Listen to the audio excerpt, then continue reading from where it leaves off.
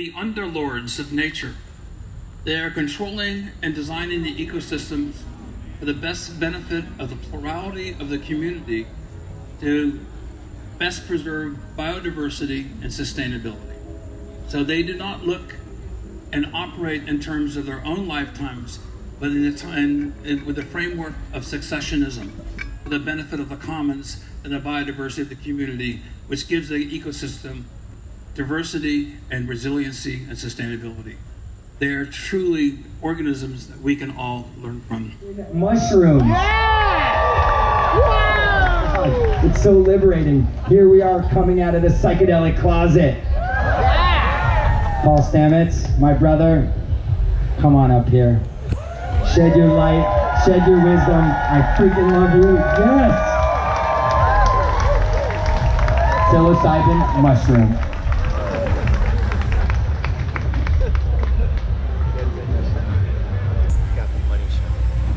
Well, thank you, Stephen. I want to give a shout out and deep gratitude to the Costa Rican uh, people, especially the indigenous people of the New World who welcome uh, many of us Europeans. You know, we're very deeply grateful forever for your generosity and kindness and uh, helping us uh, survive. So we have a debt of gratitude to the indigenous peoples of the Americas. Let's make sure we pay it. Are at a revolution. So I hope that you all can join this. So I'm going to launch into this. At the very end of this, I'm going to empower all of you. Testing. I'm going to try to empower all of you with the knowledge that you can grow your own psilocybin mushroom patch in your backyard. You, you'll be mycologically independent of anyone else. Because on that panel yesterday, when I was speaking about the use of psilocybin mushrooms, for me, um,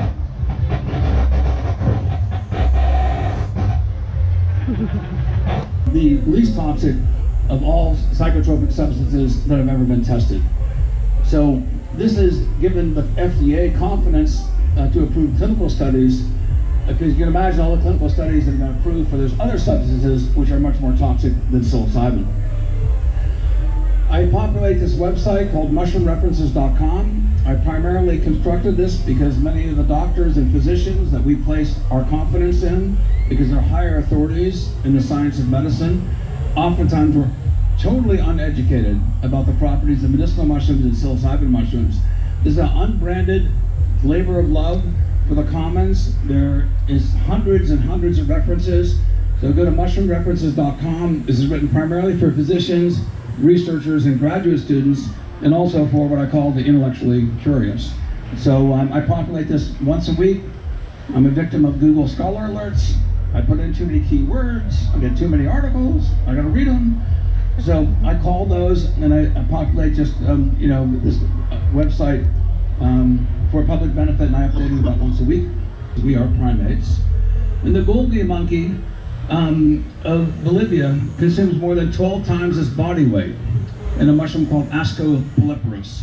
It's a lower cannibal, it can be a monkey growing in the Bolivian Amazon, but this mushroom uh, is absolute key uh, food for the Goeldi monkeys. Now, this is the most uh, highest mushroom consumption species that we know of, but this also speaks to the fact that there's 23 primates consuming mushrooms that speaks to a, very long um, evolutionary history with primates understanding that mushrooms are excellent as foods and as medicines. About two million years ago, our ancestors' brain suddenly enlarged. Homo sapiens only appeared evolutionarily 200,000 years ago. That's not very long ago. 40,000 years ago, Homo sapiens migrated from Africa. We are all Africans genetically. We all came from Africa. Here's our primate ancestors walking across the savannah. They're hungry, they're a family, they're a tight clan. They come across, they find scat, dung. The largest mushroom growing out of dung is Psilocybe cubensis. Putatively our ancestors, hungry, most primates eat grub. Grub grows uh, from larvae and mushrooms. You consume the mushrooms. 20 minutes later, you have liftoff. and you're catapulted into an extrasensory, extraordinary experience that results in neurogenesis, the creation of new neurons, new synaptic junctions, new ways of thinking, new ways of imagining. And this was then speculated as the reason why the skull enlarged was in order to accommodate the increased uh, brain mass that was that was forming within. And so external stimuli influence how proteins are coded and how your DNA elaborates. And so we develop new genomic expressions that give you an added advantage. Then those expressions then are coded and it becomes part of your genome. So this strikes me, and now as we understand better epigenetic theory, and then some of the most recent research that's come out in the past four or five years on psilocybin and neurogenesis, I think Terence and, and Dennis got it right. I think um, now, so here is the, the great late uh, Terence McKenna in the Stone Ape Theory, and a great uh, painting by our friend Alex Grey. Uh, Alex and Allison Grey are two psychonaut friends of ours. And speaks to glossolalia, the ability of you to create language. And the idea, and under the psilocybin influence, is that your inventiveness and creativity, not only in, in skill sets of tool making and visioning, but your ability to articulate, to see the ineffable, to see suddenly this massive fractalization. How are you going to communicate that to your family member, to your loved one? Many of us, and under the influence, we turn to our friends and our partners, and they go, and we go, "Do you see what I'm seeing?" And they go, "Yes, we see it." You know, so it's um, it's something that's a bridge that really bonds the family units and friends together. So let's look at something that Terence and Dennis McKenna proposed the stoned ape theory. Now, the stoned ape theory uh, was a speculative idea, not necessarily rooted in um, paleontological facts. And I have to admit myself, it was a good stoner conversation at night around the table. Um, but increasingly, I think this theory needs to be re-examined. And to the credit of uh, Terence and Dennis McKenna, I want to give a shout out to them. My hypothesis is an educated guess, not, not necessarily uh, explained by observable phenomenon. A theory is a hypothesis that has been tested by science and factually supported.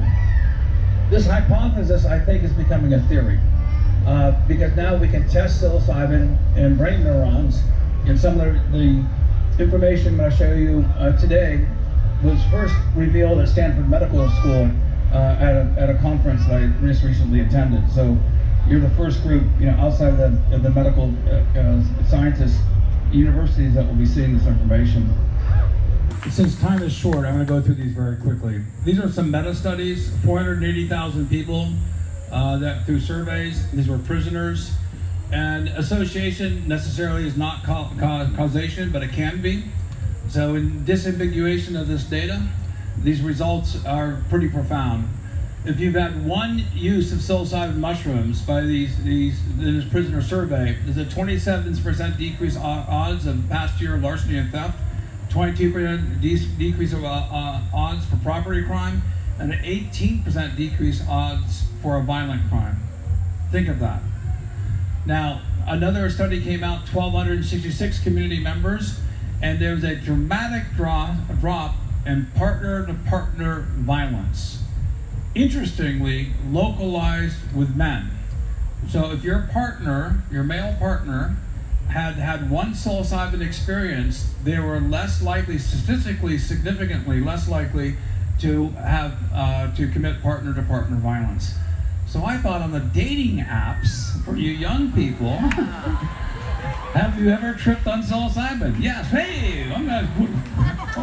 that if they took these psilocybin mushrooms, addressed these issues, then months, years later, when they re-reflected on their psilocybin mushroom session, it overwrote, so to speak, the PTSD uh, code, and they no longer have PTSD associated, again, for that firecracker, they associated their mushroom experience. So it replaced the association of the conditioned fear response with a positive experience. That is unprecedented in psychiatry. There's an increased nature relatedness and a decreased authoritarian political views. Well, that's interesting. That's kind of a pro-democracy, you know, influence on society. So you have decreased criminalization or decreased uh, uh, criminal activity, and you have a decreased uh, influence by authoritarian figures that that um, I can think of a few people right now that could benefit from this. Uh, lion's mane. It stimulates nerve growth factors, hericenones and erinacines.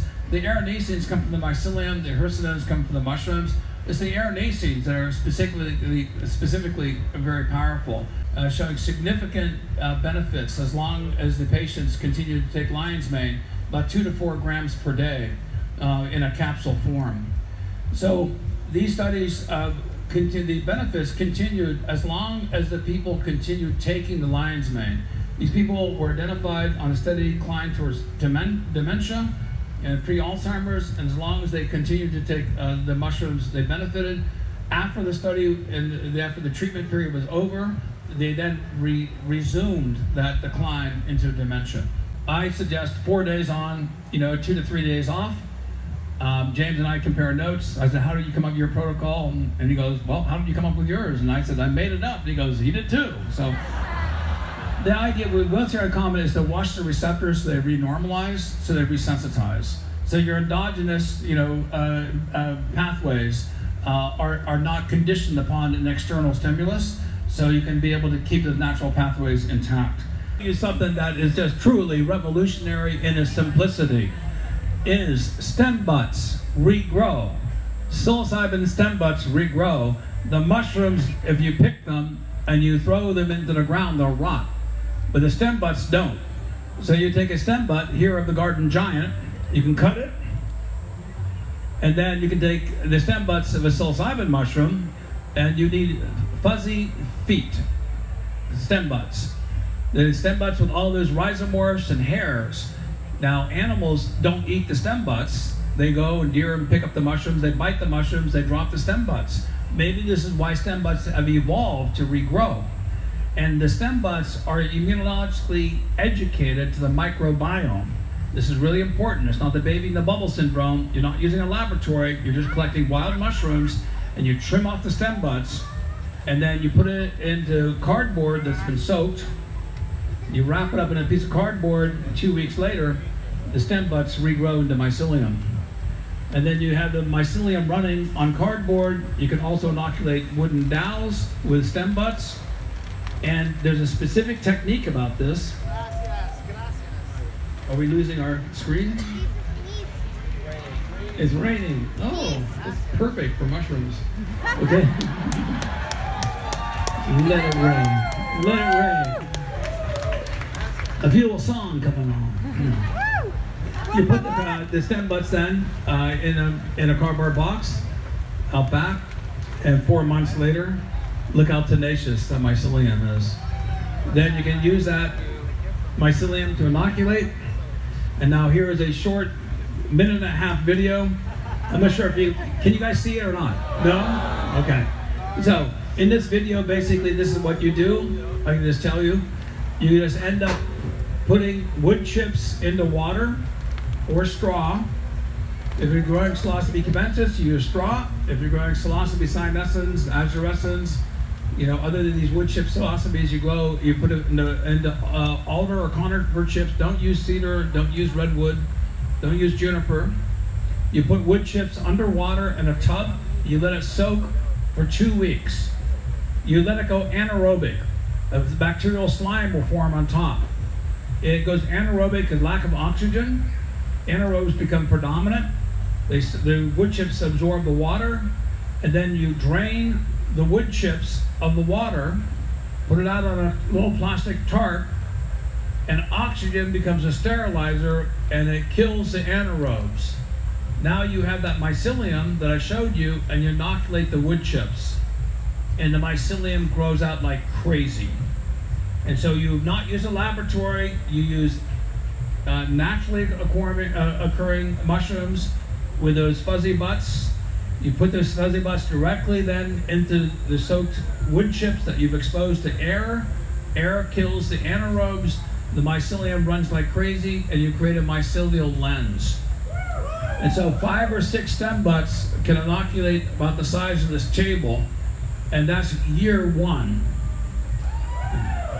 Year two, you must keep the mycelium running. So you have to expand it. So typically you expand it between March and April for fruitings in October. But you create these mycelial lenses that you can then repetitively expand and they're immunologically educated, so they're incredibly strong in their immune system for being able, for so you can create a mushroom patch in your backyard. So this is the type of liberation mycology. You don't have to buy from any business. You tie yourself directly to your sacrament.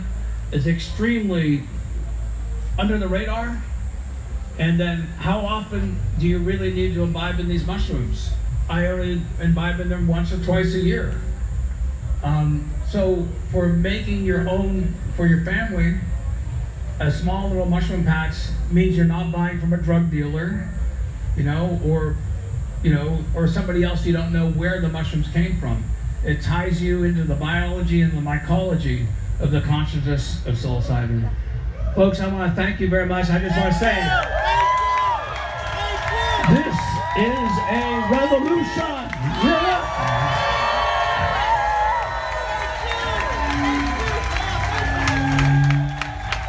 Thank you so much, Paul.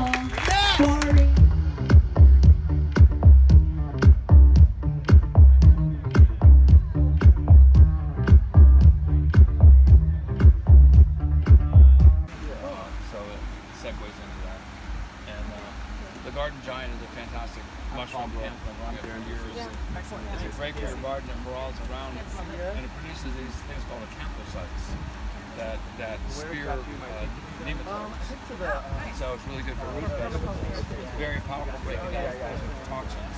And is that something that's like, uh, it's a species of mushroom that's localized somewhere, or it's like, uh, It's North America, all over Europe, and the temperate climates, not so much here, but Right, yeah, the so- garden giant is one of the best mushrooms to grow because once you plant it, it just moves around for years. as long as there's substrate? Yeah, Pam had it for one inoculation for five or more.